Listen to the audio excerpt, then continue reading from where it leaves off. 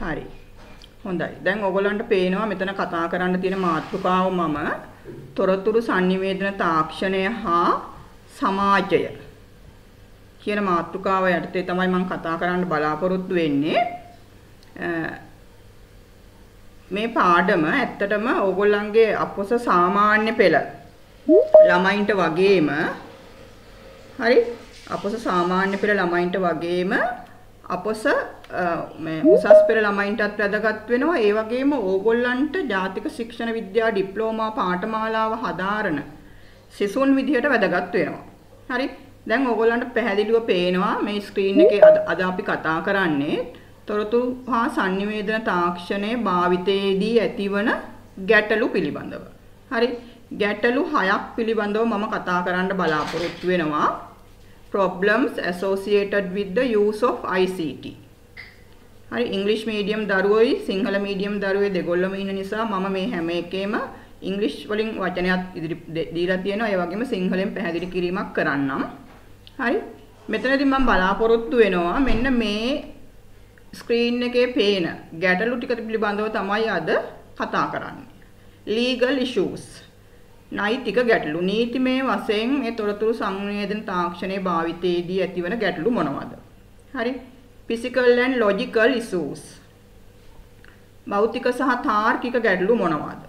ethical issues. සදාචාරාත්මක ගැටලු මොනවාද? environmental issues. පරිසරයට වන හානි මොනවාද? ඒ ආශ්‍රිත ගැටලු මොනවාද? health related issues. සෞඛ්‍ය ගැටලු මොනවාද? ඒ වගේම social issues සමාජමය වශයෙන් එන ගැටලු මොනවද? මෙන්න මේ ටික තමයි අපි කතා කරන්න බලාපොරොත්තු වෙන්නේ. හරි අපි දැන් මුලින්ම බලමු නීතිමය ගැටලු කියන්නේ මොනවද? නෛතික ගැටලු.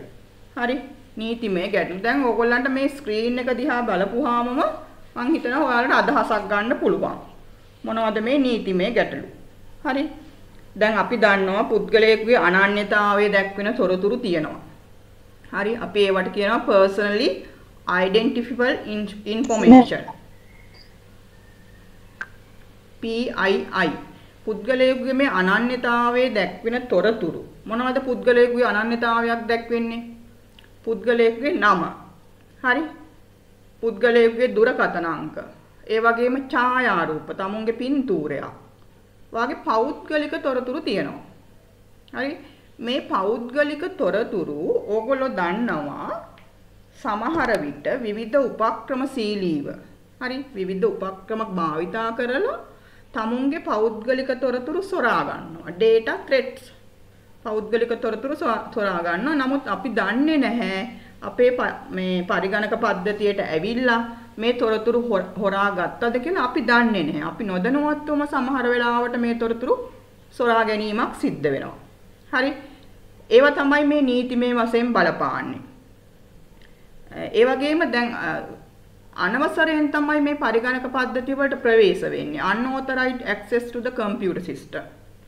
හරි කාගේවත් අවසරයක් නැතුව වෙබ් අඩවියකට වෙන්න පුළුවන්, වෙබ්සයිට් එකකට වෙන්න පුළුවන්, කම්පියුටර් සිස්ටම් එකකට වෙන්න පුළුවන්. තමුන්ගේ username, password උපක්‍රමශීලීව හොයා ගන්නවා. හරි username, password උපක්‍රමශීලීව හොයාගෙන ඒ වෙබ්සයිට් වලට වෙන්න පුළුවන් නැත්නම් තමුන්ගේ කම්පියුටර් සිස්ටම් එකකට වෙන්න පුළුවන් ආයතනික දත්ත වෙන්න පුළුවන් සොරකම් කරනවා. ඕගොල්ලෝ අහලා තියෙනවා ඒවා දැන් අපි නිවුස් වලින් පවා වෙබ්සයිට් වල ආයතනික දත්ත සොරකම් කරලා ඒවා වෙනස් කරලා ඒ වගේ දේවල් කරනවා.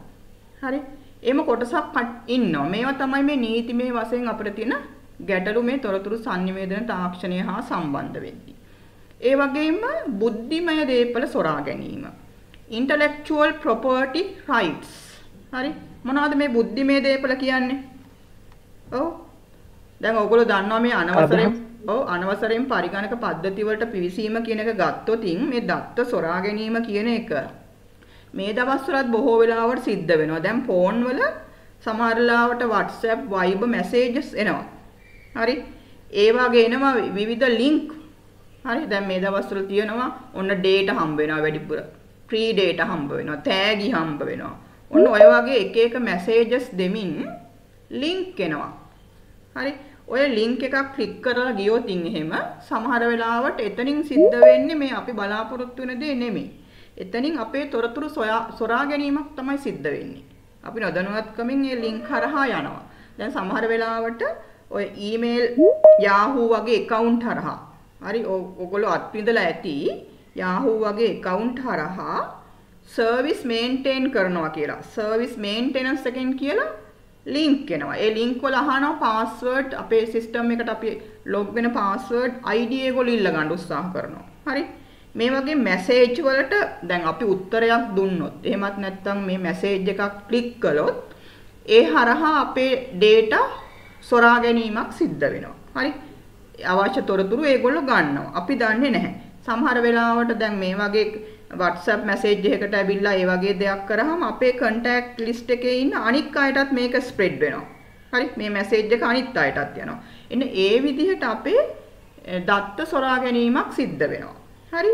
දැන් අපි බලමු මොනවද මේ බුද්ධිමය දීපල දීපල සොරා ගැනීම කියන්නේ intellectual property rights. හරි. බුද්ධිමය දීපල. බුද්ධිමය දීපලක් කියලා කියන්නේ මොකක්ද? ඔව් කියන්න බලන්න. උත්තර දෙන්න. බුද්ධිමය දේපල අදහස්? අදහස්. අදහස් වලට වඩා පුතේ මොනවද බුද්ධිමය දේපල කියලා කියන්නේ? හ්ම්? දැනුම ශිල්පීය ඥානය? ශිල්පීය ඥානය දැනුම. ඔව්. දැන් අපි උදාහරණයක් විදිහට ගත්තොත් පුද්ගලයෙක් වෙන්න පුළුවන් නේද? ආයතනයක් විසින් වෙන්න පුළුවන්. කරන නව නිර්මාණ තියෙනවා. නව නිස්පාදන තියෙනවා. හරි? දැන් නව නිර්මාණයක් නම් ඕගොල්ලෝ දන්නවා ඒකට ගන්නවා අපි බලපත්‍රයක්. මොකක්ද ඔව් නව නිර්මාණ වලට ගන්න බලපත්‍රය මොකක්ද? පේටන්ට් පේටන්ට් බලපත්‍රය නේද? අපි පේටන්ට් බලපත්‍රයක් ගන්නවා. එතකොට මේ පේටන්ට් බලපත්‍රයක් ගැනීමෙන් ලබා මොකද්ද බලාපොරොත්තු වෙන්නේ? නිර්මාණයේ නැත්තම් නිෂ්පාදනයේ අයිතිය ඔහුට හිමි වෙනවනේ. එතකොට ඒ වගේ දෙයක් තව කෙනෙකුට සොරා ගැනීම සුදුසුද? නැහැ. නමුත් ඕගොල්ලෝ දන්නවා ඒ වගේ නව නිර්මාණ නව නිෂ්පාදන ඉදිරිපත් වුනහම ඒ වගේ ලේබල් ඒ වගේ දේවල් වෙනස් කරලා මිනිස්සු වෙනත් දේවල් කරනවා. හරි? ඒව තමයි අපි බුද්ධිමය දේපල කියලා කියන්නේ.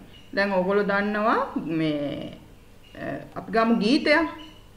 දැන් ගීතයක් ගත්තොතින් ගීතයක සම්පූර්ණ අයිතිය තියෙන කාටද ගීතයක් නිෂ්පාදනය කරාට පස්සේ? ඔව්. ගායකයටද? හා? මුළු නෑනේ. ගායකයාට නෙමෙයි. ගීත රචකයාටනේ නැත්තම් තනුව නිර්මාණය කරපු එක්කෙනාට. එයාට තමයි මේ කොපිරයිට්ස් අයිතිය තියෙන්නේ. හරි? නමුත් සමහර වෙලාවට ඒ වගේ ඒවා වෙනස් කරලා වෙනත් අය පාවිච්චි කරනවා. නේද? එන්න ඒ වගේ දේවල් තමයි මේ බුද්ධිමය දේපල සොරා ගැනීම. එතකොට මේ බුද්ධිමය දේපල සොරා ගැනීමට ඇත්තටම මේ තාක්ෂණය යොදා ගන්නවා ICT ටෙක්නොලොජි එක. මේ ටෙක්නොලොජි එක භාවිතා කරලා දැන් අපි දන්නවා මේ ටෙක්නොලොජි එක නිසා අපිට ලැබෙන වාසිත් තියෙනවා. ඒ වගේම ඒ තුලින් ලැබෙන අවාසිත් තියෙනවා. හොඳද? එතකොට ඒ වාසි අවාසි දෙකම අපේ යොදා ගැනීමක් තමයි මේ මිනිස්සුන් වශයෙන් සිද්ධ වෙන්නේ. දැන් සමහර අය ඔයගොල්ලෝ දන්නවා අපි YouTube එකට වීඩියෝ එකක් දාද්දී මම ඔයගොල්ලන්ට පස්සට පෙන්නන්නම්. ඒ වීඩියෝ එකක් දාද්දී ඒගොල්ලෝ ඒක බලනවා වෙනත් කෙනෙකු එකක්ද කියලා චෙක් කරලා. චෙක් කරලා බලලා තමයි ඒ වීඩියෝ එකට අපිට අවසරය ලබා දෙන්නේ. සමහර වෙලාවට එහෙම එහෙම වෙනත් කෙනෙකුගේ දෙයක් සොරාගෙන වීඩියෝ එක ඇතුළ වෙනත් වීඩියෝ එකක් වෙන්න පුළුවන්. එහෙම වුණොත් ඒක બ્લોක් කරනවා ඒගොල්ලෝ. හරි. બ્લોක් කිරීමක් කරනවා. ඉතින් ඒ වගේ දේවල් තමයි මේ බුද්ධිමේ දේපල සොරා ගැනීම වංචා. ඊට පස්සේ අපි කතා කරමු වංචා ෆ්‍රෝඩ්. හරි. ඒවත් එහෙමයි. දැන් අන්තර්ජාලය හරි CD එක හරි එහෙමත් නැත්නම් බැංකුවක හරි වෙන්න පුළුවන් බැංකුවල අස්සන් ඒව විකෘති කරනවා නේද? ඊට පස්සේ මේ මේ ATM cards වලින් ඕගොල්ලෝ දන්නවා විවිධ වංචා වෙනවා. දැන් මම ඕගොල්ලන්ට මෙතන පින්තූර වගේක් දාලා තියෙනවා. හරි? ඒ කාඩ් වල තියෙන දත්ත වෙනස් කරලා වෙනත් අයගේ account වල මුදල් හොරා ගන්නවා. මෙන්න මේ වගේ වංචා සිද්ධ වෙනවා. හරි? මේ සියලුම දේවල් මොනවද? නීතිමය ගැටලු. නෛතික ගැටලු. හරි? මේ නෛතික ගැටලු නිසා තමයි ගොඩක් වෙලාවට මේ වගේ ගැටලු ඇති වෙලා තියෙන්නේ මේ තාක්ෂණය යොදාගෙන. හරිද?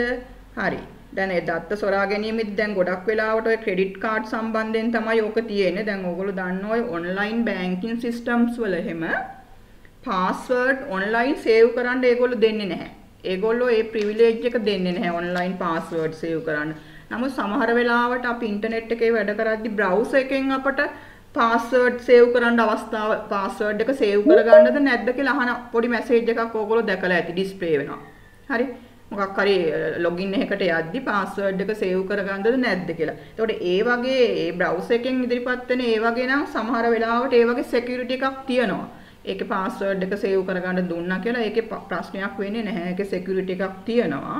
නමුත් දැන් අපි ගත්තොත් එහෙම online banking system වලදී ඒක ඒගොල්ලෝ දෙන්නේ නැහැ. පාස්වර්ඩ් එහෙම සේව් කරගන්න ඒ වගේ දෙයක් අවස්ථාවක් දෙන්නේ නැහැ. හරි.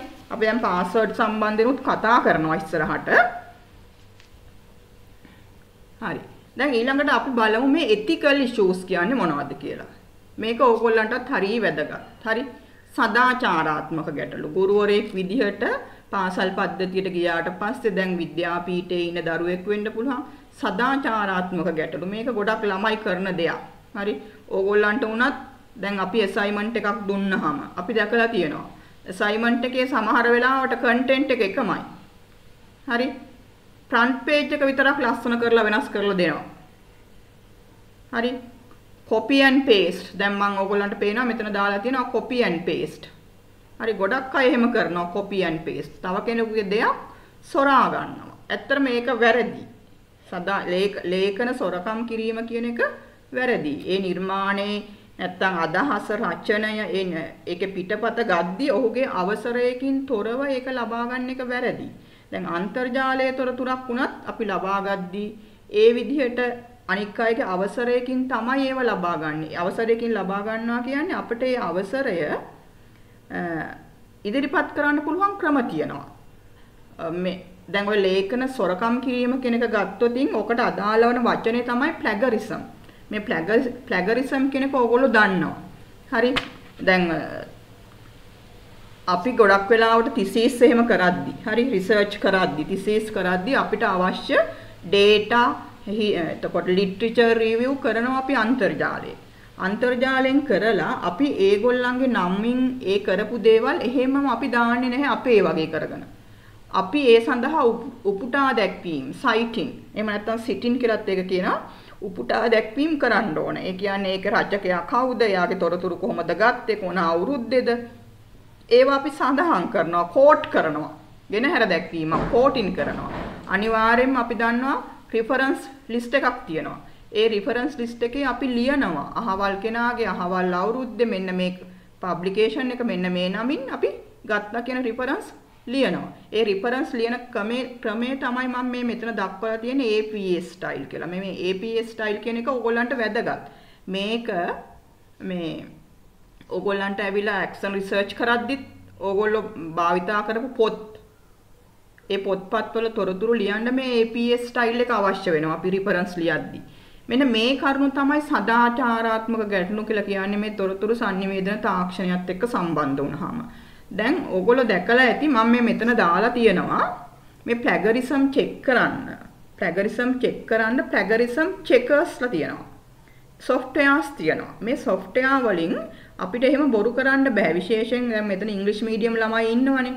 ඉංග්‍රීසි මීඩියම් අයට දාම ලේසි ක්‍රමයක් තමයි මොකක්ද? copy and paste. copy and paste. අන්තර්ජාලයට ගියා copy කරා දැම්මා. හරි.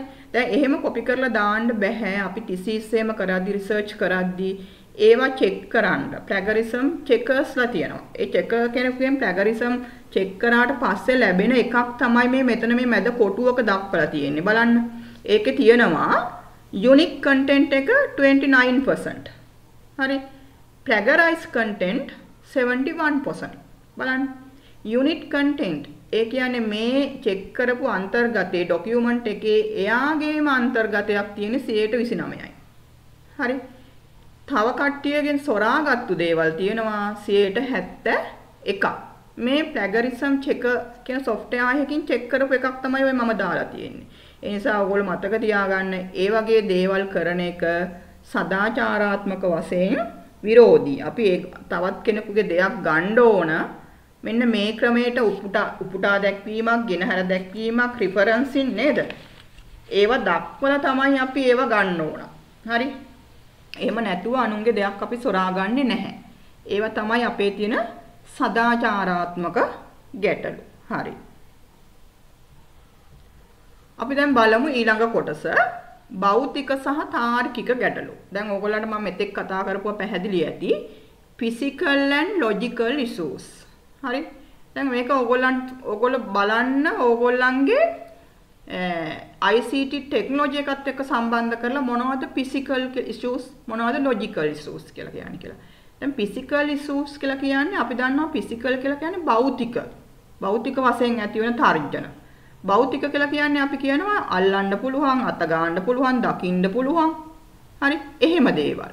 එතකොට ඒ හා සම්බන්ධ පරිගණකයේ තියෙන දේවල් තමයි මෙතන මේ කොටස යටතේ වැටලා තියෙන්නේ. logical issues කියන්නේ අපිට ඒ වගේ අල්ලන්න අතපොත ගන්න දකින්න පේන්න නැහැ. ඒ වගේ ගැටලුත් තියෙනවා මේ ටෙක්නොලොජි එකත් එක්ක. හරි? ඒව තමයි මේ logical issues කියලා කියන්නේ. හරි? එතකොට physical issues යටතේ අපි කතා කරනවා ඉස්සරහට sudden power failures. හදිසි විදුලි බිඳ වැටීම් කොහොමද අපට ගැටලු සහගත වෙන්නේ? computer threats. හරි? හානිකර මෘදුකාංග. ඊළඟට network breakdown breakdown from internet malwares. ජාල බිඳ වැටීම්. හරි? environmental issues. පාරිසරික සාධක මොනවද? හරි? logical issues යටතේ unauthorized access with password. මේවා ඔක්කොම software සම්බන්ධවනේ කතා කරන්නේ. එතකොට මේ intellectual property. හරි ඒ කියන්නේ අපිට ඒවා බලන්න නැහැ. නමුත් අපිට දකින්න නැහැ. නමුත් ඒ වගේ password වලින් softwares වලින් අපට එන issues, තර්ජන, ගැටලු මොනවද? හරි. අපි දැන් ඕවා බලමු මොනවද කියලා. දැන් මෙතන මම දක්වලා තිනවා අර ඉස්සර වෙලා කතා කරපු මෙන්න මේ කොටසේ තියෙන physical issues යටතේ කොටසක්. හරි. දැන් ඕගොල්ලෝ බලන්න මෙතන හොඳට මේක යටතේ කතා කරනවා uninterrupted uninterruptible power supply. මේ වචනේ ඕගොල්ලෝ දන්නවා UPS. UPS කියලා කිව්වොත් ඕගොල්ලෝ කෙටියෙන් දන්නවා මොකක්ද කියලා. uninterruptible power supply. ඊළඟට hardware firewall. හරි. controlled access through locked doors. CCTV, surge protectors, environmental factors. හරි. මෙන්න මේ කොටස් ටික අපි physical security නැත්නම් physical issues යටතේ අපි කතා කරනවා අපි බලමු. හරි. දැන් ඕගොල්ලන්ට පේනවා මෙතන uninterruptible power supply UPS එකක් තියෙනවා. හරි. UPS එකක් තියෙනවා. UPS කියන වචනේ ඕගොල්ලන්ට නොදන්න දෙයක් නෙමෙයි. අපි අපේ ලැබ් එකෙත් UPS තියෙන ඕන තරම්. ඇයි අපි UPS එකක් පාවිච්චි කරන්නේ? ඔව් කියන්න බලන්න. ඇයි අපි UPS එකක් පාවිච්චි කරන්නේ? දැන් අපිට කම්පියුටර් ස්ක්‍රීන් එකට එමත් නැත්නම් මොනිටර් එකට සිස්ටම් යුනිට් එකට අපිට ඩිරෙක්ට් පවර් සප්ලයි එකක් දෙන්න පුළුවන්. අපි මේන් සප්ලයි එකෙන් ඩිරෙක්ට් පවර් සප්ලයි එකක් දෙන්න පුළුවන්. නමුත් අපි අපේ ලැබ් එකේ එහෙම අපි දන්නවා අපි පාවිච්චි කරනවා UPS එකක්. UPS එක හරහා තමයි අපි සප්ලයි එකක් දෙන්නේ. මොකක්ද මේකෙන් බලාපොරොත්තු වෙන්නේ? ඔව් විදුලි ඇන හිටිනවට ක්‍රියාත්මක කරන්න මට අන්න හරි විදුලිය ඇන හිට වෙලා පව කට් එකක් වෙලාවේදී ඕගොල්ලෝ දන්නවා අපි ඩිරෙක්ට් ප්ලග් කරලා තිබුණොතින් මැෂින් එකට හානි සිද්ධ වෙනවා. ඒ වගේම අපි කර කර ඉන්න වැඩේ අපිට සේව් කරගන්න බැරි වෙන්න පුළුවන්. ඒ වගේ අවස්ථාවලදී අපිට UPS එකක් අපි UPS එකක් සාමාන්‍යයෙන් full ෆුල් චාර්ජ් um, එකක් තිබ්බොතින් අපට පවර් එක ගියත් අපිට විනාඩි 15ක් 20ක් විතර වැඩ කරන්න පුළුවන්. එතකොට අපට අවශ්‍ය දේ කරලා ඉවර කර ගැනීමට හැකියාවක් තියෙනවා. ඒ විතරක් නෙමෙයි. තව මොකක්ද? ඔව්. UPS එකෙන් තවත් කරන කාර්යයක්. සේෆ්ටි කියලා ඇහුන්නේ මොකද්ද? ඔව් අපිට අපිට තව පුළුවන් මේ හයි වෝල්ටේජ් එකක් වගේ ආවොතින් නේ හයි වෝල්ටේජ් එකක් වගේ ආවොතින් ඒ වෝල්ටේජ් එක කන්ට්‍රෝල් කරලා මේ කම්පියුටර් සිස්ටම් එකට සම්බන්ධ වෙලා තියෙන ඩිවයිසස් වල ආරක්ෂාවක් සලස්සනවා. හරි ආරක්ෂාවකුත් සලසනවා. දැන් මේ දවස්වල කොහොමද අපේ කම්පියුටර් ලැබ් වල තත්ත්වය? හ්ම් දැන් අපි අවුරුද්දක් අවුරුදු එකහමාරක් විතර වහලා තියෙද්දි බොහෝ වෙලාවට මේ UPS අක්‍රිය වෙලා තියෙන්න පුළුවන්. හරි. එතකොට අපි ගිහිල්ලා ඊට පස්සේ එකපාරටම වැඩ කරන්න ගන්න නැතුව මේ UPS power on කරලා ටිකක් charge වෙන්න ඇරලා තමයි අපි වැඩ කරන්න ගන්න ඕනේ. බොහෝ වෙලාවට දැන් කාලයක් තිස්සේ ක්‍රියාත්මක නොවීම නිසා අක්‍රිය තත්වයට පත් වෙලා තියෙන්න පුළුවන්. හරි? හරි. දැන් අපි බලමු ඊළඟ කොටස. අපි අර ඉස්සරලා කතා කරපු hardware firewall. හරි.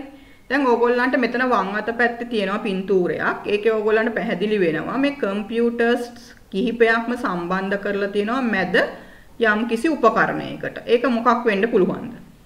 ඔව්. ඕගොල්ලන්ට නෙට්වර්ක් සම්බන්ධව එහෙම මැඩම් කියා දීලා ඇති.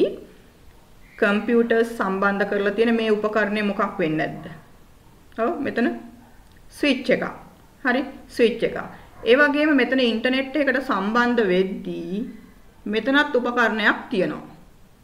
හරි. මෙන්න මේක තමයි අපි කියන්නේ hardware firewall කියලා. හරි. hardware firewall. ඇත්තටම hardware firewall වලින් සිද්ධ වෙන්නේ මොකක්ද? අන්තර්ජාලය හරහා ලැබෙන අනවසරයෙන් ඇතුල් වන තර්ජන ඇතුල් වන අය අපිට කන්ට්‍රෝල් කරලා දීමක් තමයි මේ ෆයර්වෝල් එකෙන් සිද්ධ වෙන්නේ. ඒකට අපි කියනවනේ ගිනි පවුර කියලා සිංහලෙන් ෆයර්වෝල් ගිනි පවුර ආරක්ෂාවක් දෙනවා. පවුරක් කියන්නේ ආරක්ෂක බැම්මක්නේ. එතකොට ඉන්ටර්නෙට් එකට මේ කම්පියුටර් සිස්ටම් එකට නෙට්වර්ක් එකට ජාලයට සිද්ධ වෙන හානියකට ඉන්ටර්නෙට් එකෙන් සම්බන්ධ වෙන අන්තර්ජාලය හරහා ලැබෙන අනවසරයෙන් ඇතුල් වන තර්ජනය කන්ට්‍රෝල් කරනවා. හරි. නමුත් දැන් මේ දැන් මේ හાર્ඩ්වෙයාර් ෆයර්වෝල් ගොඩක් වෙලාවට අපිට දකින්න අඩුයි. දැන් ඒ වෙනුවට මේ ඕගොල්ලන්ගේ මේ වම් අත පැත්තේ තියෙන භාවිතා කරලා තියෙන මම මේ රූපේ පෙන්ලා තියෙන ඩිවයිස් එක ඕගොල්ලෝ දැනටමත් පාවිච්චි කරනවා ඇති ගෙවල් වල. ඔව් ඒ මොකක්ද? රවුටර් එකක්. හරි. දැන් ගොඩක් වෙලාවට මේ රවුටර් එකක් තුල ඉන්බිල්ට් අපි කියනවා ඉන්බිල්ට් හાર્ඩ්වෙයාර් ෆයර්වෝල් එකක් තියෙනවා. ඒ නිසා අපිට වෙනම hardware firewalls දැන් භාවිතා කරනවා අඩුයි. හරි. inbuilt ඒ කියන්නේ ඇතුළේම build නිෂ්පාදනය කරපු සකස් කරපු hardware firewall එකක් තියෙනවා. ඔයගොල්ලන්ට මම ඉස්සරහට තව කතා කරන්නම් hardware firewall විතරක් නෙමේ අපිට තියෙනවා machines වල ඔයගොල්ලෝ දැනටමත් දන්නවත් ඇති දැකලා ඇති software firewall පවා තියෙනවා. හරි. දෘඩාංග ගිනි පවුරු වගේම මෘදුකාංග ගිනි පවුරු. හරි. හරි. අපි බලමු. දැන් මෙතන තියෙනවා මම ඉස්සරලා කතා කරපු physical issues යටතේ කතා කරපු controlled access through locked doors. හරි. දැන් සමහර වෙලාවට ඕගොල්ලෝ දැකලා ඇති පරිගණකවල ආරක්ෂාවට මේ වගේ ඉබි අතුරු කියලා කියනවනේ අපි lock doors දාලා තියෙනවා. සිස්ටම් යුනිට් එකේ ආරක්ෂාවට තියෙන්නත් පුළුවන්. දැන් මේ වගේ මේ යකඩ දොරවල් දෙකක් තමයි මේ පේන්නේ. යකඩ දොරවල් දෙකකින් ඒ දෙක ආරක්ෂා කරලා තිනවා. එතනින් එහා තමයි මේ සිස්ටම් එක තියෙන්නේ. දැන් දැනට දැනට තියෙන්නේ ගොඩක් වෙලාවට මේ පාසල් පද්ධතියේ මහින්දෝදේ ලැබ්නේ. ඒ මහින්දෝදේ ලැබ් වල නම් මේ මේ මේ තත්ත්වේ නැහැ. නමුත් ඉස්සර ආවා සෙන්ට් කියලා ප්‍රොජෙක්ට් එකක්.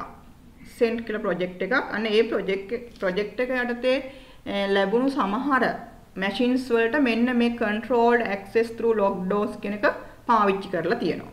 හරි. දැන් මේ වගේනුත් වෙන්නේ අපිට මේ ආරක්ෂාවක් තමයි අපි බලාපොරොත්තු වෙන්නේ. දැන් සමහර වෙලාවට මේ වගේ ආරක්ෂා කරලා තිබ්බත් මේ වගේ වයර් කපාගෙන ගිහිල්ලා ඒ වගේ ඩිවයිස් එකේ තව එක එක කොටස් ගලවගෙන යන ඒ වගේ දේවල් සිද්ධ වෙනවා. ඔයගොල්ලෝ දැකලා අහලා ඇති. හරි.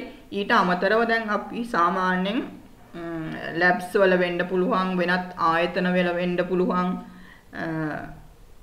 කර්මාන්ත ශාලාවක වෙන්න පුළුවන් ඒ ඕනෑම තැනක ආරක්ෂාව සම්බන්ධයෙන් ෆිසිකල් ඉෂුස් යටතේ අපි සකස් කරලා තිනවා CCTV කැමරා.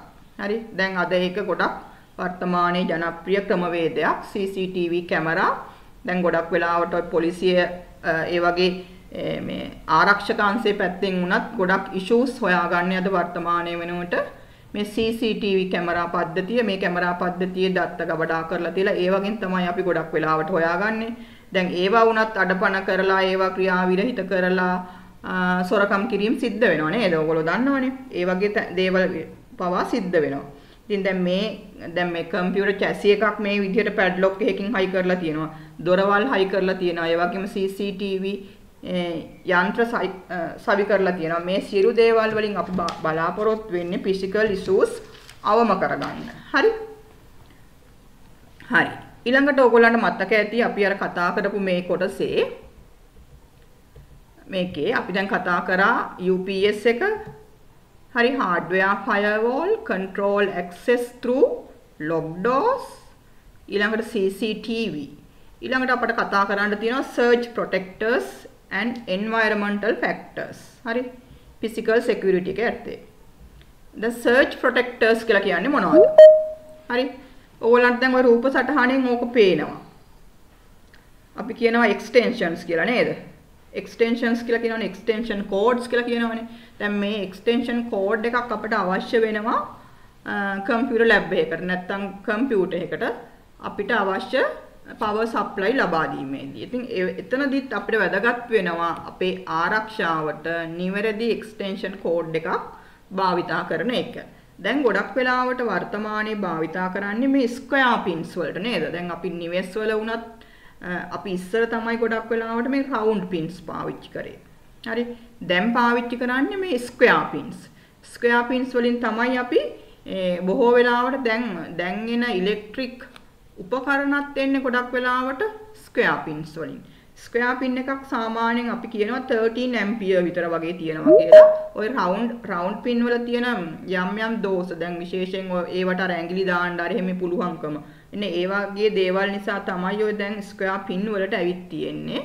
ඉතින් ඒ වගේ ස්ක්වෙයාර් පින් අපි භාවිතයට යොමු වීම වැදගත්. එතනදී දැන් මේ මම පෙන්ලා තියෙන දීලා තියෙන මේ එක්ස්ටෙන්ෂන් කෝඩ් එක ගත්තොතින් මේක තව විශේෂත්වයක් තියෙනවා. මේක සාමාන්‍යයෙන් 240 වෝල්ටේජ් එකක් තියෙන්නේ. සමහර පොත්වල තියෙනවා ඕක 120 වෝල්ට් කියලා. ඒක වැරදි. දැන් මේ වගේ එක්ස්ටෙන්ෂන් කෝඩ් එකක් ඇත්තටම හොඳ ප්‍රමිතියෙන් යුත් එක්ස්ටෙන්ෂන් කෝඩ් එකක් ගැනීම වඩාත්ම සුදුසු වෙනවා. ප්‍රමිතිය පිළිබඳව අපි සැලකිලිමත් වෙන්න ඕන. එතනදී මේ මම පෙන්ලා තියෙන එකේ නම් පොඩි ෆියුස් එකකුත් තියෙනවා. ඔබට පේනවා ඇති. පොඩි අර කළු පාට ෆියුස් එකක් තියෙනවා. මේ ෆියුස් එක මගින් පවා මෙතන වෝල්ටේජ් එක කන්ට්‍රෝල් කිරීලා කන්ට්‍රෝල් කිරීමක් සිද්ධ වෙනවා. ඒ නිසා අපි සර්ච් ප්‍රොටෙක්ටර්ස් විදිහට මේවා භාවිතයට යොමු වෙන්න ඕනේ අපේ ඉෂුස් අවම කරගන්න. හරි. ඊළඟට මේ environmental factors පාරිසරික සාධක.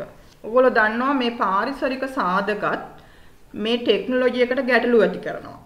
හරි. දැන් විශේෂයෙන් අපේ ලැබ්ස් වල එහෙම ඕගොල්ලෝ දකින දෙයක් තමයි මේ ගොඩක් වෙලාවට ඩස්ට් එක ඩස්ට් එක තියෙනවා. දැන් අපි ගෙදරදී වුණත් කීබෝඩ් එක දිහා පොඩ්ඩක් බලන්න ඕගොල්ලන්ගේ කීබෝඩ්ස් වල ගොඩාක් ඩස්ට් එක තියෙනවා. මේ ඩස්ට් එක ඇත්තටම මේ වැකියුම් ක්ලීනර්ස් භාවිතා කරලා ඩස්ට් එක ඉවත් කරන්න ඕන. මේ වගේ දේවල් අපි කරනවා හරි අඩුයි. හරි? කීබෝඩ් එකේ විස බීජනාශක දාන්න දාලා පිරිසුදු කරන්න පුළුවන්. ඒ වැකියුම් ක්ලීනර් අරගෙන ඩස්ට් එක ඉවත් කරන්න පුළුවන්. ලැබ් එකක් නම් ලැබ් එක වැකියුම් ක්ලීනර් එකක් භාවිතා කරලා ඩස්ට් එක අයින් කරන්න පුළුවන්. ඒ වගේ දේවල් කරන්න ඕනේ. සිස්ටම් යුනිට් ඇතුලේ පවා ඩස්ට් එක තියෙනවා. හරි? දැන් මේ කම්පියුටර් එකේ ස්ක්‍රීන් එක, ග්ලාස් එක ඒක අපි ක්ලීන් කරන්න ඕන. ඒ මොනිටර් මොනිටර් එක ක්ලීන් කරන්න සම තියෙනවා මොනිටර්ස් සඳහා භාවිතා කරන ග්ලාස් ක්ලීනර්ස්. හරි. ඒව භාවිතා කරලා අපිට මොනිටර් එක ක්ලීන් කරන්න පුළුවන්. ඒ වගේම දැන් ওই පහළ තියෙන පින්තූරෙන් පේනවා මේ මේ ලැබ් එකේ මේන්ටේනන්ස් වල තියෙන දුර්වලතා තමයි. තේ කෝප්පයක් හැල්ලා තියෙනවා කීබෝඩ් එකට නේ. මේවා ඔක්කොම මේ පාරිසරික සාධක මිනිසුන් විසින් වෙන දේවල් වෙන්න පුළුවන් මෙතන. ලැබ් එක තුලට අපි ලැබ් එකේ පාවිච්චි කරන දේවල් තියෙනවා. ලැබ් එකට ගෙනියන්න ඕන දේවල් තියෙනවා. ගෙනිය යුතු නැති දේවල් තියෙනවානේ.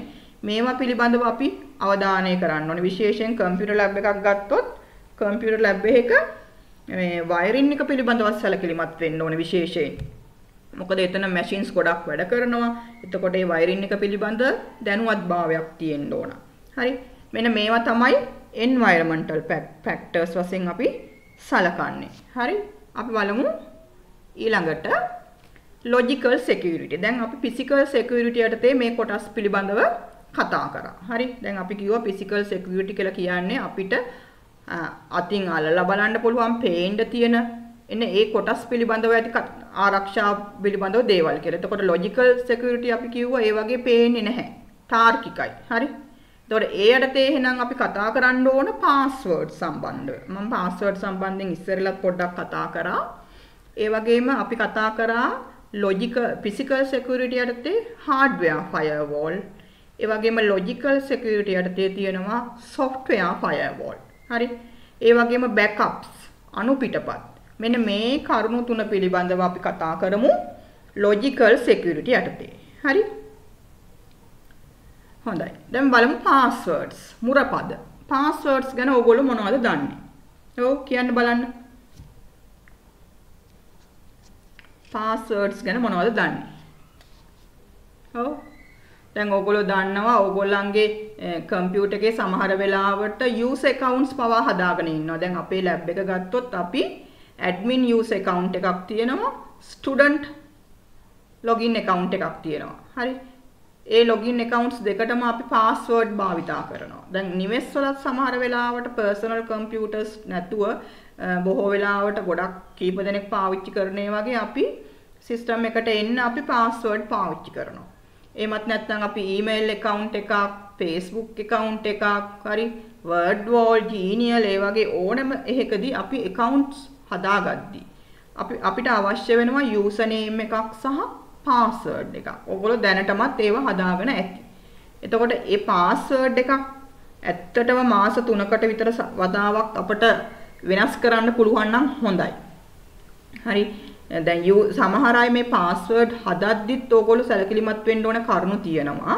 අපිට password එකකට ඇතුළත් කරන්න පුළුවන් text එකක් ඇතුළත් කරන්න පුළුවන් නම්බර් එකක් ඇතුළත් කරන්න පුළුවන් ස්පෙෂල් කැරක්ටර් එකක් ඇතුළත් කරන්න පුළුවන්. හරි. ඒ වගේම කැපිටල් සිම්පල් කියන දේවල් පාවිච්චි කරන්න පුළුවන්. එතකොට සමහර වෙලාවට අපි password හදද්දී දැන් ඔය ඊමේල් account එකක එහෙම Gmail account එකක password එකක් හදද්දී password එක weak කියලා වැටෙනවා. දැන් මේ පින්තූරේ තියෙන්නේ password එක weak. ප්‍රමාණවත් නැහැ. ඒ කියන්නේ මෙන්න මේ characters ඒකට අහු වෙලා නැහැ. අකුරු, ඉලක්කම්, විශේෂ ස්පෙෂල් characters අහු වෙලා නැහැ. ඒ වගේම capital simple පාවිච්චි කරන්න වෙනවා. මෙන්න මේ ක්‍රමයට අපට strong password එකක් හදාගන්න පුළුවන්. අපි දැන් ගත්තොත් cna123 at කියලා password එකක්. ඉතින් අපිට එතන s කියන එක capital දාන්න පුළුවන්. හරි. එතකොට capital තියෙනවා, simple තියෙනවා, ඉලක්කම් තියෙනවා, at sign එක තියෙනවා. හරි. නමුත් දැන් password හදද්දි ගොඩක් වෙලාවට සමහර අය කරන දෙයක් තමයි password එක මතක තියාගන්න එපා. නේද? මතක තියාගන්න ඉතින් විවිධ ක්‍රම පාවිච්චි කරනවා. හරි. නේද? දැන් සමහර වෙලාවට user name එකේම කෑල්ලක් password එකට දානවා. තවත් සමහරු තමුන්ගේ birth year එක birth year එක දානවා. ඉතින් ওই birth year එක දාන එක user name එකේම කෑල්ලක් password එකට දාන එක ඒක එච්චරම හරි නැහැ. හරි ඒවා සමහර වෙලාවට guess කරන්න පුළුවන්. guess කරන්න පුළුවන් ওই hackers-ලට ගෙස් කරලා අවශ්‍ය දත්ත සොරා ගැනීමට පුළුවන්.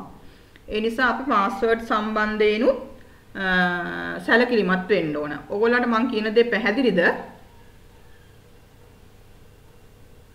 ඔව්. ඔව් මැඩම්. හරි. හරි. ඊළඟට අපි බලමු දැන් මම ඉස්සරලා කතා කරා hardware firewall එකක්. හරි. දැන් මේ තියෙන්නේ software firewall එකක්. දැන් මේ උඩම රූප සටහනෙන් ඕගොල්ලන්ට පැහැදිලි වෙනවා. මෙතන LAN කුඩා වර්ගයේ network එකක් තියෙනවා. එහා පැත්තෙන් තියෙනවා WAN විශාල පරිමාණයේ network එකක්. ඒ දෙක අතර firewall එකක් තියෙනවා.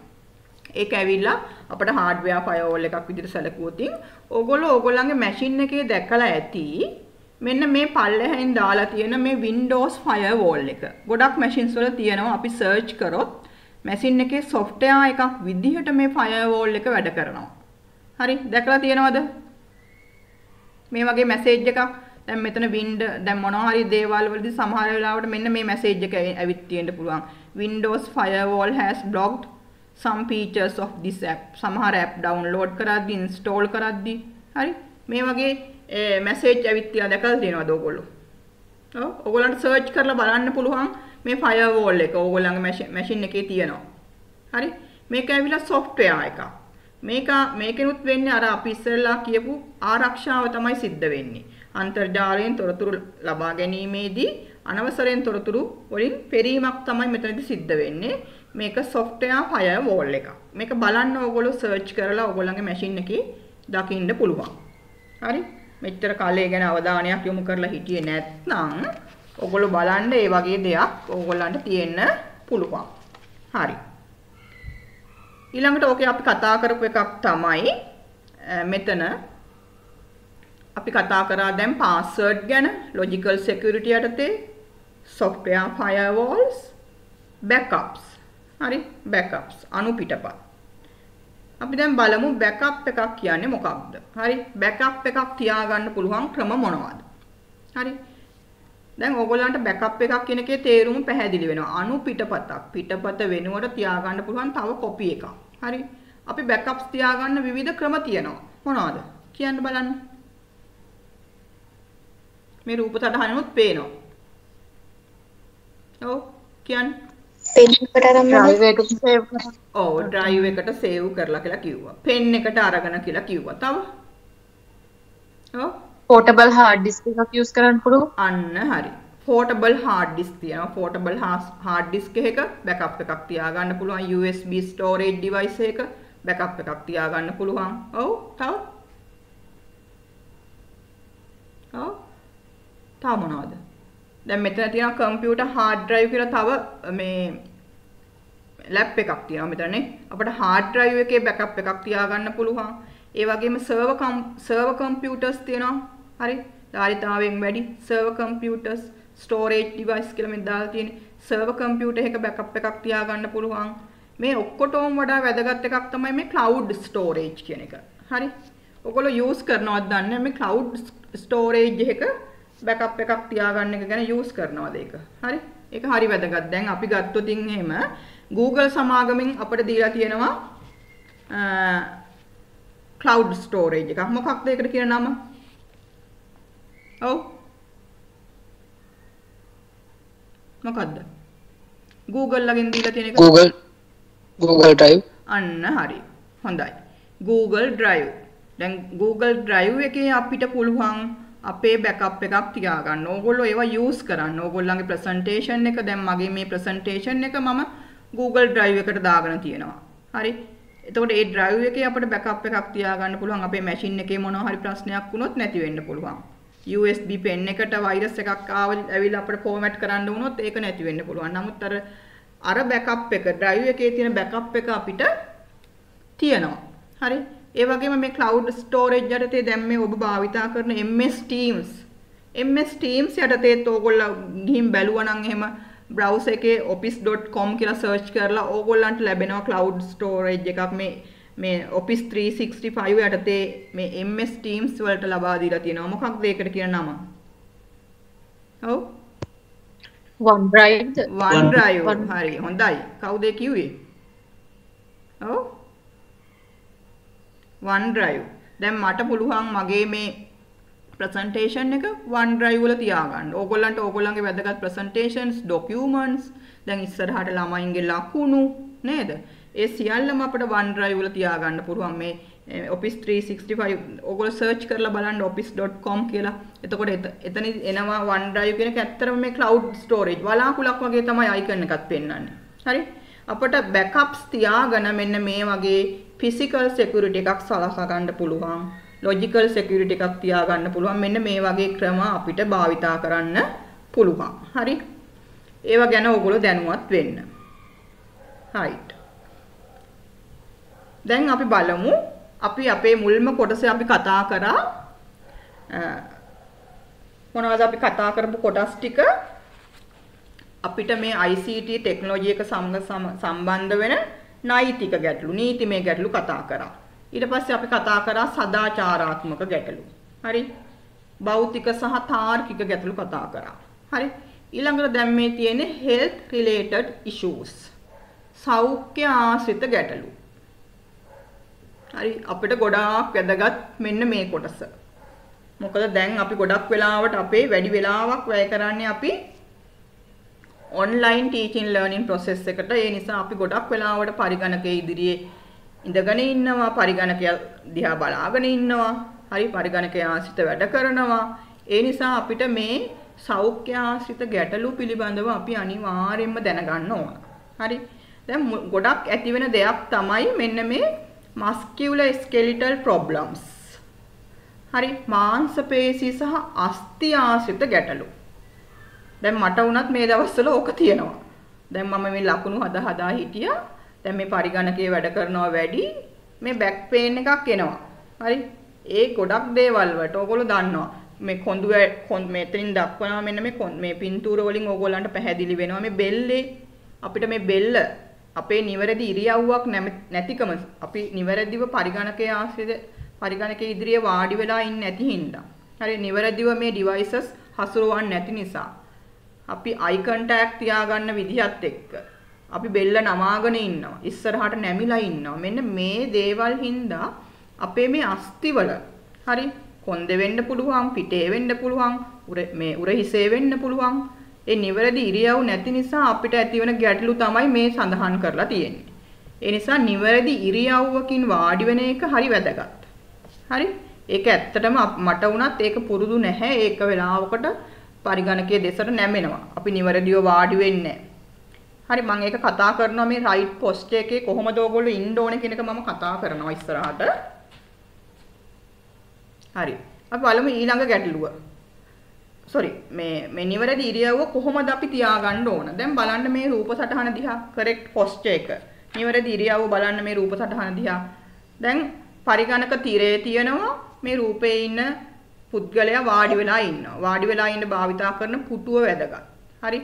පුටුවට වාඩි වෙලා මෙන්න මේ විදිහට අපිට සාමාන්‍යයෙන් පරිගණක තිරය තමුන්ගේ ඇස් මට්ටමට හරි ඊට වඩා පහතින් පිහිටන විදිහට තමයි මේ මේ ටේබල් එකයි චෙයා එකයි හදාගන්න ඕන. හරි. උඩට බලන්න ඇස් මට්ටමේ ඉඳන් ස්ක්‍රීන් එක උඩ බලන විදිහට හරි ගොඩක් පල්ලෙහාට නැමෙන විදිහට හරි බලන්නේ නැහැ. හරි. කෙලින් ඒ විදිහට තියෙන්න ඕන. එතකොට ඒ වගේම මේ පරිගණක මොනිටර් එකට ස්ක්‍රීන් එකට ගොඩාක් ලං වෙලා ඉන්නෙත් නැහැ. සාමාන්‍යයෙන් මොනිටර් එකයි අපේ ඇසුයි අතර පරතරය අඟල් වලින් ගත්තොත් 18ක් 28ක් හරි සෙන්ටිමීටර් 45ක් 70ක් වගේ වෙන්න ඕන. එහෙම නැතුව වුණාම අපට අයි විෂන්ස් එනවා. හරි. ඊළඟට කකුල තියාගෙන තියෙන විදිය බලන්න.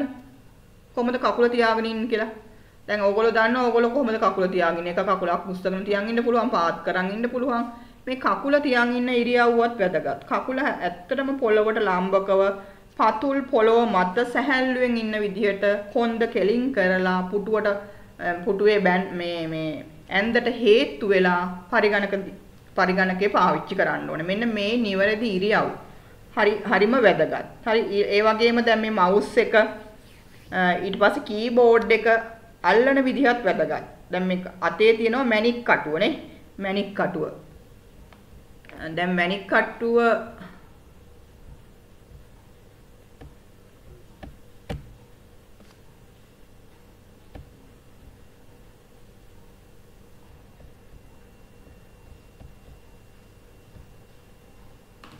ඔයගොල්ලන්ට ස්ක්‍රීන් එක පේනවද? ඔව්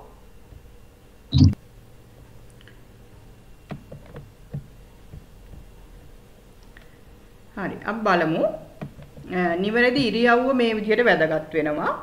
දැන් මේ මැණික් කටුව ඒ දැන් අපි මේ අත නැමෙන විදිහ කීබෝඩ් එක අල්ලද්දී සාමාන්‍යයෙන් වැලමිට කෙලින් තියෙන්න ඕන. හරි? වැලමිට තද කරගන්නේ නැහැ. ඊළඟට කෙලින් තියෙන්න ඕන අත් දෙක පැත්තට ගිහිල්ලා වැලමිටෙන් ඈත් වෙලා තියෙන්න බෑ. පහතින්. හරි? මේ නිවැරදි ඉරියව් තියෙන්න ඕනේ. කීබෝඩ් එක දැන් ගොඩක් වෙලාවට සමහර අය පාවිච්චි කරන්න පුරුදු වෙලා තියෙන්නේ මේ එකම අතකින්, එකම ඇඟිලි වලින්.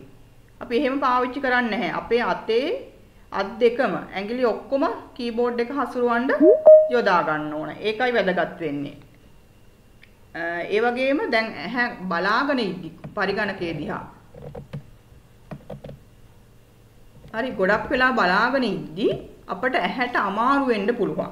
සාමාන්‍යයෙන් අපි කියනවා පැය භාගයකට විතර සැරයක් ඇහැ වෙනත් දිහාවකට ඈතකට යොමු කරන්න කියලා. ඇස්වල මේ විෂන් එකේ ඇතිවන ප්‍රශ්න නිසා ඇහි වෙහෙසකාරී බව හින්දා පැය භාගයකට වරක් පමණ ඇහැ ඉවතට ගන්න කියන එක කියනවා. මෙන්න මේ වගේ දේවල් ඊළඟට අපි ඇහැ ඉවතට ගන්නවා පිටත බලනවා ඇසිපිය ගහනවා මෙන්න මේ වගේ දේවලුත් වැදගත් වෙනවා මේ සෞඛ්‍ය ආශ්‍රිත ගැටලු අවම කර ගන්න. හරි? නිවැරදි ඉරියව්ව.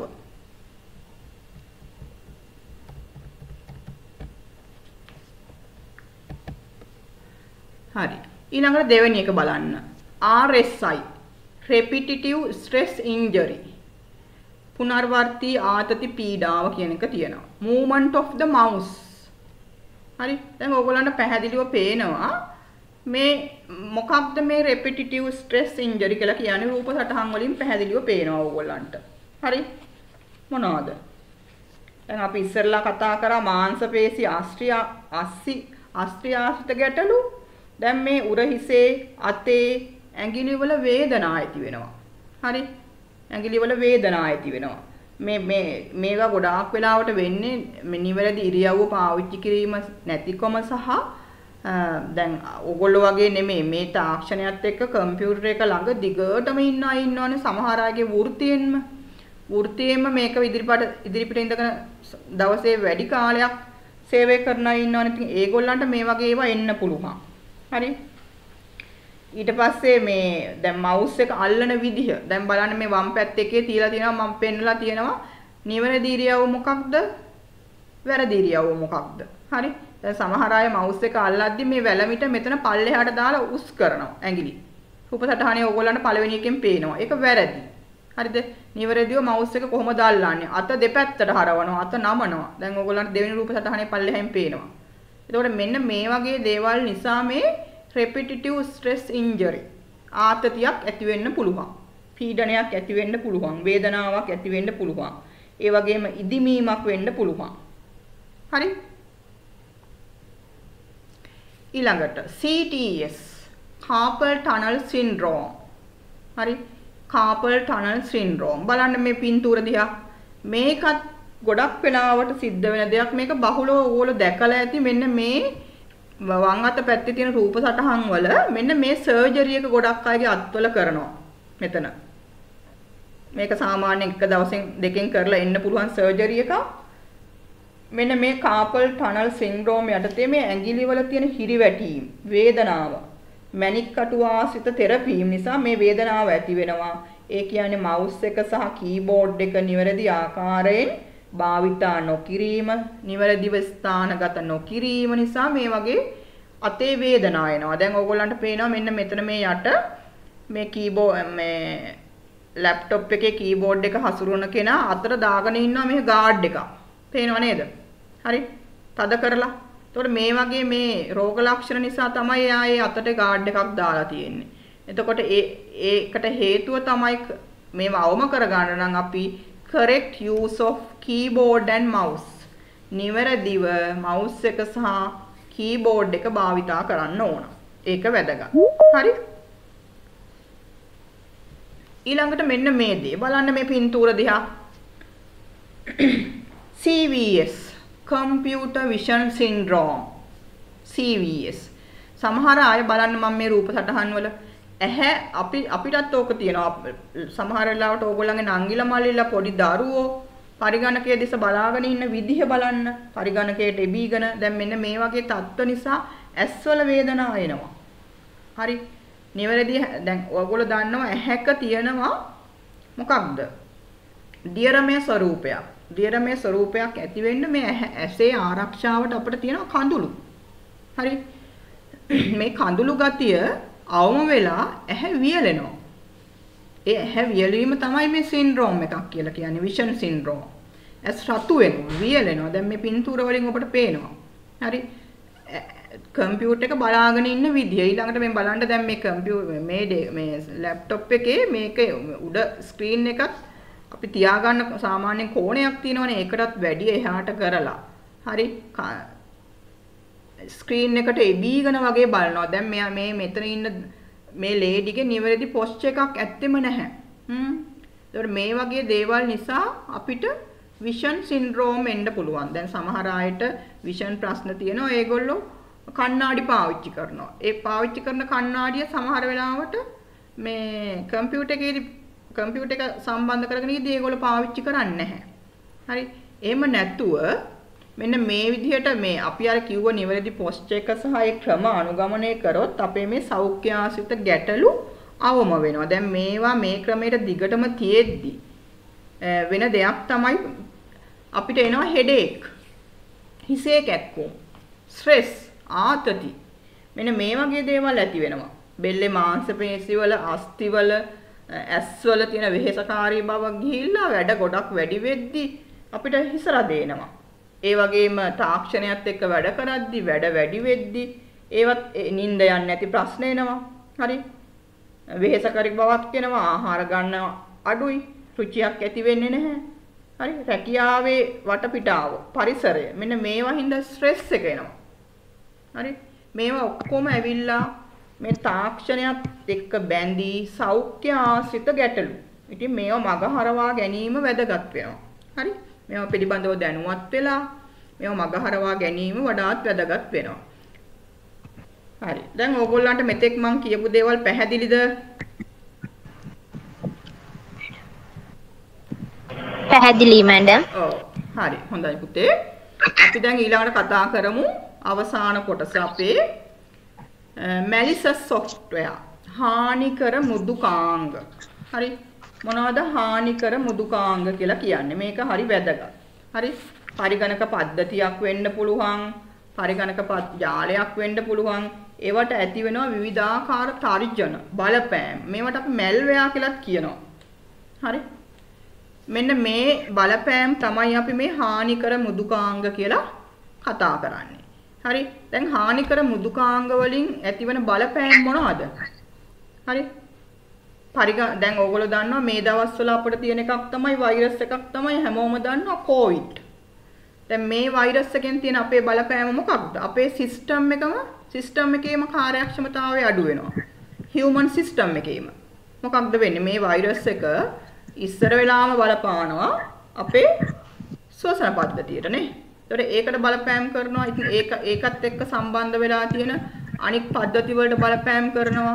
ඉතින් මෙහෙම මෙහෙම ගිහිල්ලා අවසානයේ අපේ ජීවිතේටම බලපෑමක් කරලා තියෙනවා. ජීවිතයට තර්ජන ඇති වෙලා තියෙනවා. මරණය හිමි වෙලා තියෙනවා නේ. බල ඒක මේ වෛරස් එකේ බලපෑමෙන්. ඉතින් ඒ වගේ තමයි මේ මැල්වෙයා වලිනුත් පරිගණක වලට සම්බන්ධ හානිකර මෘදුකාංග වලිනුත් කම්පියුටර් සිස්ටම් එකේ කාර්යක්ෂමතාවය අපේ හියුමන් බොඩි එකේ කාර්යක්ෂමතාවය අඩු වෙනවා වගේම කම්පියුටර් සිස්ටම් එකේ කාර්යක්ෂමතාවය අඩු වෙනවා. ඒක බලපානවා affect the efficiency of the computer. ඒ වගේම පරිගණක software විනාශ කරනවා, අකර්මණ්‍ය කරනවා, ඒවා ක්‍රියාත්මක කරන්න දෙන්නේ නැහැ. ඔගොල්ලෝ දැකලා ඇති වෛරස් ආවට පස්සේ සමහර වෙලාවට අපිට සමහර මේ software පාවිච්චි කරන්න දෙන්නේ නැහැ, බ්ලොක් කරනවා. ඊළඟට ඩෙස්ක්ටොප් එකේ ස්ක්‍රීන් එක තුල මේ ෂෝට් කට්ස් ගොඩාක් හැදිලා තියෙනවා. ඒ වගේ දේවල් වෙනවා වෛරස් වල බලපෑම හින්දා. සමහර අලුතෙන් software install කරන්න දෙන්නේ ඒ වගේම කම්පියුටර් එකේ hardware එකට බලපෑම් කරනවා. hardware එක අඩපණ කරනවා. ඒකේ data මැකෙන්න පුළුවන් තියෙන data ගන්න බැරි වෙන්න පුළුවන්. හරි කම්පියුටර් network එක කඩා කප්පල් කරනවා. ඒ කියන්නේ අඩපණ කරනවා. හරි. ඒ වගේම දත්ත සොරකම් කරනවා, විනාශ කරනවා.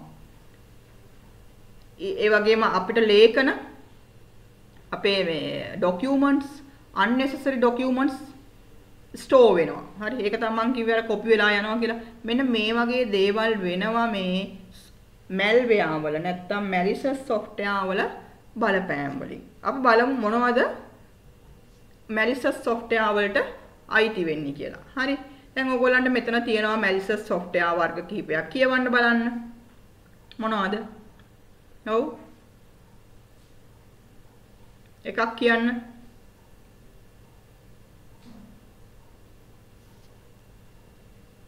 නැද්ද? කට්ටිය? hijackers hijackers ඔව් තව? Adware adware computer virus. Computer viruses ඔව්. Trojan, trojan. Trojan. Trojan මේකේ දාලා නැහැ මම නමුත් තියෙනවා trojan. ඔව් තව?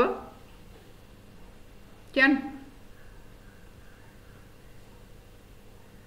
ස්පෑම් ස්පයිවයා බොට්ස් ෆිෂින් නේද මෙන්න මේ මැල්වයා සම්බන්ධව පොඩ්ඩක් කතා කරමු මේවා කොහොමද අපි අඳුනගන්නේ කියලා හරි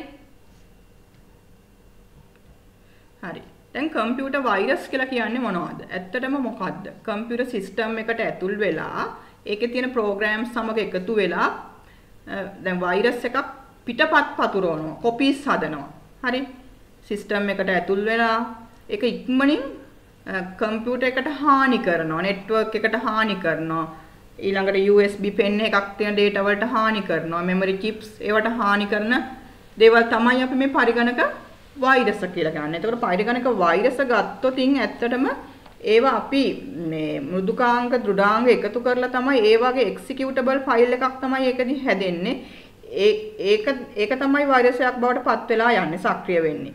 හරි. දැන් වෝම්ස් ගත්තොත් වෝම්ස් ඇත්තටම වෛරස් හා සමාන කරන්න බෑ. වෛරස හා සමානයි. නමුත් සමාන විදිහටම ක්‍රියා කරනවා. නමුත් වෝම්ස් වල තියෙන විශේෂත්වයක් තමයි දැන් වෝම් කියන නම ගත්තොත් අපි සිංහලයේ කියන්නේ වෝම් කියලා සාමාන්‍යයෙන් කියන්නේ කාටද? පණුවටනේ. වෝම් කියලා කියනවා නේද පණුවා. එතකොට අපි කියනවානේ පණුව ගහනවා කියලානේ කියන්නේ. පණුව ගහනවා කියන එකෙන් තේරුම මොකද්ද?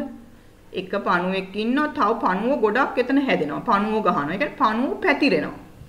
නේ? එයාම පැටව දම දමා පැටව දම දමා පැතිරෙනවා. පණුව ගහනවා කියලා අපි කියන්නේ ඒකනේ. ඒතකොට අන්න ඒ වගේ දෙයක් තමයි මෙතනත් ඇත්තටම වෙන්නේ. වෛරස් විදිහටම තමයි ක්‍රියා කරන්නේ. එහෙම ක්‍රියා කරන software එකක්. නමුත් එයාට පුළුවන් තනියම ස්ප්‍රෙඩ් වෙන්න. හරි? තනියම ස්ප්‍රෙඩ් වෙන්න. ඒ ඒ සඳහා ඒගොල්ලෝ કોઈ ඊමේල් එකක් වෙන්න පුළුවන්, වෙනත් වෙබ්සයිට් එකක් වෙන්න පුළුවන්, ඉන්ස්ටන්ට් මැසේජ් එකක්. මේ වගේ විවිධ ක්‍රම භාවිතයෙන් මෙයා ස්ප්‍රෙඩ් වෙන්න බලනවා. හරි? worms. ඊළඟට ඇඩ්වෙයා. මේ ඇඩ්වෙයා කියන එක ගත්තොතින් ඇත්තටම මේක මේ ඔයගොල්ලෝ දැකලා ඇති අපි වැඩ කර කර ඉද්දි සමහර වෙලාවට ස්ක්‍රීන් එකේ විවිධ ඇඩ්ස් දැන්වීම් එනවා. විඩින් විඩේ මතුවෙනවා. හරි? අපිට ඒක වෙලාවකට වදයක් වෙනවා. අපි ක්ලෝස් කරනවා යනවා. සමහර අය ඒව ටච් කරලා ගියොත් ඒ වගේ වෙන වෙන අනවශ්‍ය තොරතුරු ඒගොල්ලෝ ගන්නවා. ඇත්තටම මේ ඇඩ්වෙයා කියන එක හදලා තියෙන්නේ මේ වාණිජමය තොරතුරු ලබා දීමට තමයි. දැන් ඒක හදපු මිනිස්සයා ඇත්තටම හිතලා නැහැ මෙච්චර මේකෙන් යූසර්ට මේ වදයක් වෙයි කියලා. හරි. මේක එච්චර යූසර්ට වදයක් වෙයි කියලා හිතලා නැහැ. පස්සේ තමයි ඒ හදපු කෙනාටත් තේරිලා තියෙන්නේ මේක මේ වාණිජමය පරමාර්ථය නිර්මාණය කරාට ඒ පුද්ගලයා දැන් ඒක ඒ සම්බන්ධයෙන් කනගාටුවටපත් වෙනවා. මොකද යූසර්ස්ලා ඒ සම්බන්ධයෙන් වොරි වෙනවා. මොකද ඒගොල්ලන්ගේ වැඩ කරගන්න අමාරුයි. අනවශ්‍ය දැන්වීම් විවිධ විවිධ විදිහට එනවා. දැන් ඒ දැන්වීම් හරහා වාණිජ තොරතුරු ලබා දෙන්න උත්සාහ කරන අතර ඒවා සමහර ලාවට වෛරස් බවට පත් වෙලා හානිදායක වෙලා තියෙනවා. හරි. ඒ වාණිජමය වාණිජමය අදහසකින් නිර්මාණය කරාට ඒ හරහා වෛරස් ඇතුළත් වීමේ ඇතුළත් වීමක් සිද්ධ වෙලා තියෙනවා. හරි. ඊළඟට මේ බොට්ස් හරි බොට්ස් මේව හොඳට බලන්න මම දැන් අහන ප්‍රශ්න වලටත් වැදගත් වෙනවා. බොට්ස් රොබොට්ස් කියන වචනයෙන් තමයි ඔක බිඳිලා ඉවිත් තියෙන්නේ රොබොට්ස්. හරි රොබොට්ස් කියන්නේ කවුද කියලා ඔයගොල්ලෝ දන්නවනේ. නේද? හදනවා. රොබොට්ස් ෂණික පණිවිඩ අන්තර්ජාල සංවාද අන්න ඒවා ඔස්සේ තොරතුරු රැස් කරලා අනෙකුත් ජාල සමග සම්බන්ධව තබාගෙන ස්වයංක්‍රීයව ක්‍රියාත්මක වන මෘදුකාංගයක් තමයි මේ රොබොට්ස් නැත්නම් බොට්ස් කියලා කියන්නේ. හරි. දැන් ඉස්සෙල්ලා කෙනෙක් කතා කරා හයිජැකර්. හයිජැකර් කියලා කියන්නේ ඇත්තටම මැල්වෙයාර් ටයිප් එකක්. මේක ඇත්තටම හිතන්නේ හයිජැකර් කෙනෙක් හිතන්නේ මේ යූසර්ට මේ ඉන්ටර්නෙට් එකත් එක්ක සම්බන්ධ වුණාම යූසර් ෆ්‍රෙන්ඩ්ලි දෙයක් විදියට ඒ කියන්නේ යූසර්ව යූසර්ගේ කැමැත්තත් එක්ක අරගෙන නමුත් හානිකර දෙයක් සිදු කරන්න තමයි ඒකෙදි උත්සාහයක් ගන්නෙ. හරි මේකත් ඇත්තරම ගොඩක් වෙලාවට ඇඩ්වෙයා එකක් වගේ තමයි. හරි නමුත් යම්කිසි තර්ජනයක් සිද්ධ කරනවා මේ හයිජැකර් තුලින්. වෙළඳ වාණිජ්‍ය ප්‍රචාර කටයුතු සඳහා යොදා ගන්නවා. කොල්ලකරුවක් විසින් මේ නිර්මාණය කරලා තියෙන නමුත් පරිශීලකයා නැත්නම් යූසර් අන්තර්ජාලය හා සම්බන්ධ වෙන අවස්ථාවේදී යූසර්ව නොමග යවලා වෙනත් වෙනත් වෙබ්සයිට්ස් වලට යොමු කරනවා. ඇඩ්වෙයා වෙත යොමු කරලා යොමු කරන විදිහේ වර්ගයක් තමයි මේ හයිජැකර් කියලා කියන්නේ. හරි? හයිජැකර්. ඊළඟට අපි බලමු ෆිෂින් කියන එක. දැන් මෙතන ෆිෂින් කියන එකේ අකුරු තියෙන්නේ මේ විදිහට. නමුත් ඕගොල්ලෝ ෆිෂින් කියන එක ෆිෂ් මාළුවා කියන අදහසෙන් ගත්තොත් එහෙම ෆිෂින් කියන එකේ අදහස මොකක්ද? බා ගන්නවා. බා ගන්නවා වගේ අදහසක් නේ. මේ ඒ අදහසටම සමානයි මෙතනත්. ෆිෂින්. ඒ කියන්නේ සමහර වෙලාවට යූසර්ව රවට්ටලා ඔවුන්ගේ බැංකු ගිණුම් වල නැත්නම් විද්‍යුත් ගිණුම් වල තියෙන තොරතුරු සොරා ගන්නවා. විවිධ ඊමේල්ස් එනවා. හරිද? විවිධ වෙබ් අඩවි වලට ලින්ක් එනවා. සමහර වෙලාවට පොඩි ෆෝම් එකක් වගේ පත්‍රිකාවක් ඇවිල්ලා ඕක පුරවන්න ඇවිල්ලා ඕකේ පුරවන එක තුලින් ඒගොල්ලෝ ගන්නවා ඒගොල්ලන්ට අවශ්‍ය තොරතුරු. හරි සොරා ගැනීමක් සිද්ධ කරනවා. මුදල් වෙන්න පුළුවන් නේද? පාස්වර්ඩ් අරවම ඒ වගේ සො- තොරතුරු සොරා ගැනීමක් සිද්ධ කරනවා. ඒවා ක්ලික් කර ඒවා ක්ලික් කරන්න යන්න එපා. ඔය විස්තර පත්‍රිකා පුරවන්න එනවා. ඒවා පුරවන්න යන්න එපා. ඒවා පරිශීලකයන්ගේ මුදල් පවා සොරකම් කරන අවස්ථා තියෙනවා. මෙන්න මේවා තමයි අපි ෆිෂින් කියලා කියන්නේ. හරි?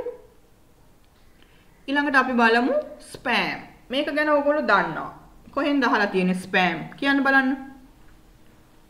ඔව්.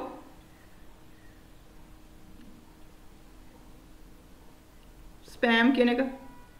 දැන් ඕගොල්ලන්ගේ ඊමේල් ඊමේල් account එකක් තියෙන කෙනෙක් අපි ඊමේල් එකක් ආවහම හරි විද්‍යුත් තැපෑලක් අපිට ලැබුණාම අපිට මේ ස්පෑම් කියන එක සම්බන්ධ වෙනවා. දැන් සමහර අයට අපි දැන් ඊමේල් එකක් ඇරපුවාම අපි ඉන්බොක්ස් එකේ ඉන්නේ සාමාන්‍යයෙන් ඊමේල් එක ආවට පස්සේ තියෙන්නේ නේද? අපි ඉන්බොක්ස් එක චෙක් කරලා බලනවා. හරි. ඔයගොල්ලන්ට ඇහෙනව නේද මම කියන ඒවා? ඔව් මැඩම්. ඔව් ඉන්බොක්ස් එක චෙක් කරලා බලනවා. එතකොට ඉන්බොක්ස් එකේ නැත්නම් අපි බොහෝ වෙලාවට කියනවා මොකක්ද? මෙහා පැත්තේ වම් අත පැත්තේ බලන්න පොඩි ඩවුන් ඇරෝ එකක් තියෙනවා. ඒ ඩවුන් ඇරෝ එක ක්ලික් කරාට පස්සේ වම් අත පැත්තේ තියෙනවා ස්පෑම් කියලා එකක්. සමහර වෙලාවට ඔය ස්පෑම් එකකින් ක්ලික් කරාම අර ඉන්බොක්ස් එකේ පෙන්වුවේ නැති වුණාට ස්පෑම් එකේ තියෙනවා සමහර වෙලාවට ඊමේල්. අපි ඔක කියනවා ඊමේල් එකක් ඇරියට පස්සේ දැන් අපිට ඊමේල් එක සෙන්ඩ් වෙනවද නැද්ද කියන එක අපිට දැනගන්න පුළුවන් නේ. ඊමේල් එක සෙන්ඩ් උන් නැත්නම් අපිට මැසේජ් එකක් එනවා ඊමේල් එක සෙන්ඩ් උන් නැහැ කියලා. හරි. ඊමේල් එක සෙන්ඩ් වුණා නම් ඒ අදාළ යූසර්ට කියනවා අපි ඒකේ බල එයා බලනවා ඉන්බොක්ස් එකේ ඉන්බොක්ස් එකේ නැති වෙලාවට මේ ස්පෑම් එකට ගිහින් තියෙනවා. ස්පෑම් එක චෙක් කරන්න කියපුවාම මෙන්න මේක තමයි මේ මේ ස්පෑම් කියලා කියන්නේ අනවසරයෙන් ලැබෙන විද්‍යුත් තැපෑල. දැන් බොහෝ වෙලාවට අපේ කන්ටැක්ට් ලිස්ට් එකේ ඉන්නේ නැති අය.